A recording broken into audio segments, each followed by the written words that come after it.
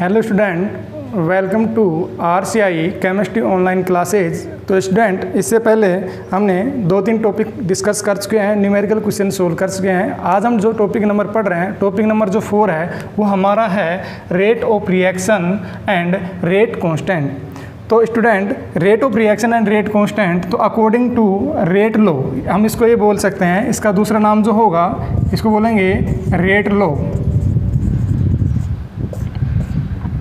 ठीक है स्टूडेंट? तो according to the law of mass action या फिर बोलें according to rate law at a constant temperature क्या दिया गया आपको?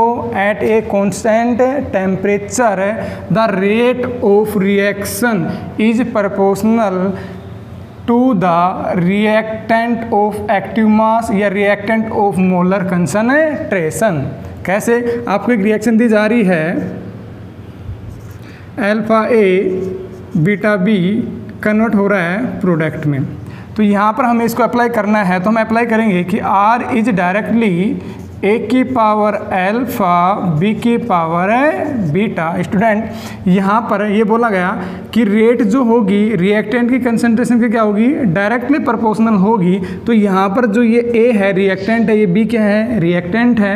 और ये इनके मोलर कोफिशेंट हो जाएँगे, जो यहाँ पर कहाँ चले जाएँगे? पावर में चले जाएँगे। मतलब ए की कंसनट्रेशन की पावर एल्फा बी की कंसनट्रेशन की पावर क्या हो जाएगा? बीटा अब जैसे इस प्रपोर्शनल को हम यहाँ से हटाते हैं तो यहाँ पर एक नियतांक आता है कांस्टेंट आता है, उसको बोलेंगे के ए की पावर एल्फा बी की पावर बीटा ये आपके पास में आ जाएगा। स्टूडेंट ये तो हो जाएगा आपके पास में रेट ये हो जाएगी आपके पास में रेट कांस्टेंट ठीक है स्टूडेंट अब बात करते हैं कि अगर आपके पास में एक की इफ़ ए की कंसंट्रेशन और बी की कंसंट्रेशन एक दूसरे के इक्वल हो जाए। हम इनको क्या मान लें? यूनिट मान लें। यूनिट का मतलब कितना हो जाएगा? वन मान लें। तो आपके पास में यहाँ पर क्या आएगा निकल के? देखना। आर इज़ इक्वल टू के और अब ये जो के होगा, इसको हम रेट कांस्टेंट ना बोल कर क्या बोलेंगे? स्पेसिफिक रेट कांस्टेंट क्या बोलेंगे? स्पेसिफिक रेट कांस्टेंट ठीक है स्टूडेंट अब बात करते हैं। ये तो हमारा टॉपिक हो गया फोर टॉपिक नंबर फाइव की हम बात करते हैं। इसी चैप्टर में हम आगे चलते हैं। तो हमारे पास में जो टॉपिक फोर है, वो दिया गया है यूनिट के बारे में। यूनिट की रेट की यूनिट क्या होगी? रेट कांस्टेंट की यूनिट क्या होगी?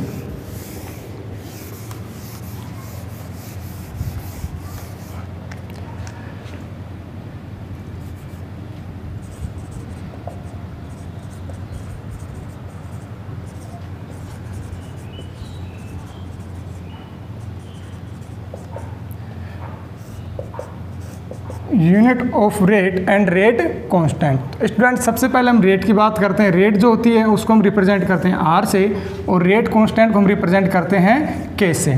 तो आर जो होती है आर को हम जब डिफाइन करते हैं तो आर को डिफाइन करते हैं the change in concentration of reactant in product in a unit time ठीक है? तो आर जो हो जाएगा, हमारे पास में हो जाएगा plus minus del C upon del T ये हमारे पास में हो जाएगी कंसंट्रेशन और स्टूडेंट जो कंसंट्रेशन जो होती है कंसंट्रेशन जो होती है, ये होती है मोल पर वॉल्यूम मोल जो होंगे एन वॉल्यूम को ले लेंगे वी मोल की यूनिट रह जाएगी मोल और वॉल्यूम की हो जाएगी आपके पास में लीटर तो इसको हम यहाँ लिख सकते हैं मोल लीटर इनवर्स तो कंसंट्रेशन की यूनिट क्या होगी हमारे पास में? ये तो हमारे पास में होगी कंसंट्रेशन की यूनिट मोल लीटर इनवर्स हो जाएगी आपके पास में। आप देखो, यहाँ पर ये तो है आपके पास में कंसंट्रेशन और ये क्या दिया आपको? टाइम तो कंसंट्रेशन की यूनिट क्या हो जाएगी आपके पास में? मोल लीटर इनवर्स और टाइम जो होगा आपके पास में मिनट्स में हो सकता है सेकंड्स में हो सकता है हावर्स में हो सकता है। जो आपको न्यूमेरिकल में दे क्वेश्चंस में दे, उसके अकॉर्डिंग तो हम यहाँ पर क्या लेंगे? टाइम लेंगे। तो यूनिट क्या आ जाएगी हमारे पास में? जो रेट की जो यूनिट आएगी, वो आ जाएगी mole litre inverse time inverse ठीक है स्टूडेंट अब जो हम यूनिट निकाल रहे हैं, वो यूनिट निकालेंगे रेट लो की। तो रेट लो की अगर यूनिट हम निकालते हैं तो according to rate law according to rate law. अगर रेट लो के अकॉर्डिंग हम बात करें तो क्या बोल रहा था रेट लो कि R is directly proportional to reactant concentration तो रिएक्टेंट की कंसनट्रेशन क्या होगी? ए क्या हो जाएगी? बी ए की पावर एल्फा बी की पावर है बीटा ठीक है स्टूडेंट अब यहाँ पर हम बात कर रहे हैं कि आर जो होती है आर को हम बोलेंगे रेट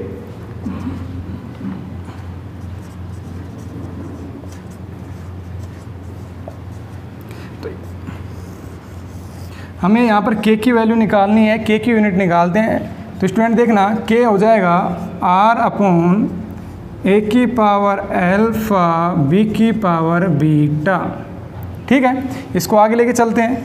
आर जो होता है रेट जो होता है हमारे पास में रेट की जो यूनिट होगी, वो क्या होगी? रेट की यूनिट हम निकाल चुके हैं यहाँ से। तो रेट की जो यूनिट होगी हम यहाँ पर पुट कर देंगे। क्या होगी हमारे पास में? Mole litre inverse time inverse ठीक है? नीचे की साइड में क्या दिया हुआ है? ए की कंसंट्रेशन और बी की कंसंट्रेशन तो ए जो होगा कंसंट्रेशन जो होगी कंसंट्रेशन की यूनिट क्या होगी स्टूडेंट हमारे पास में? ये दी गई है। यहाँ से पुट कर देंगे। क्या आएगी? मोल लीटर इनवर्स की पावर एल्फा और मोल लीटर इनवर्स की पावर है बीटा ठीक है? मैथ में आप पढ़ते हो कि जब बेस क्या होते हैं सेम होते हैं। देखो, ये बेस और ये बेस दोनों आपस में क्या है? सेम तो इनकी पावर जो होंगी, आपस में क्या होंगी? सम हो जाएँगी ऐड हो जाएँगी। तो हम बोलेंगे यहाँ पर है एल्फ़ा प्लस बीटा हमको हम मान लेंगे एन और एन को बोलते हैं order of a reaction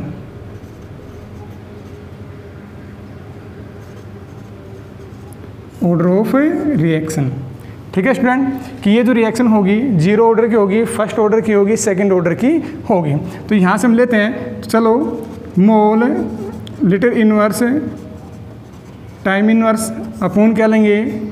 Mole litre inverse alpha plus में बीटा और एल्फा बीटा को हम क्या ले सकते हैं स्टूडेंट यहाँ से एन ले सकते हैं।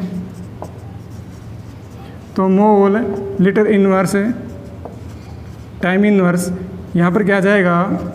मोल लिटर इनवर्स की पावर एन। इसी को आगे सोल्व करते हैं स्टूडेंट तो क्या आएगा?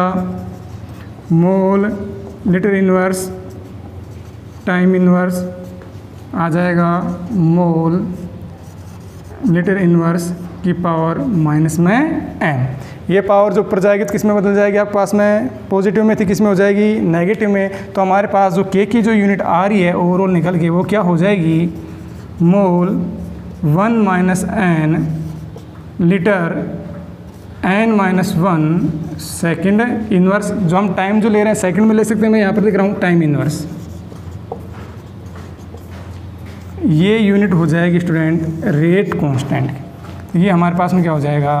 रेट कांस्टेंट तो स्टूडेंट वापस देखते हैं, जो हमारे पास में जो रिएक्शंस की जो रेट होगी आर जो होगी, उसकी यूनिट क्या होगी हमारे पास में? Mole litre inverse time inverse जो कंसंट्रेशन जो होती है कंसंट्रेशन की यूनिट क्या होगी?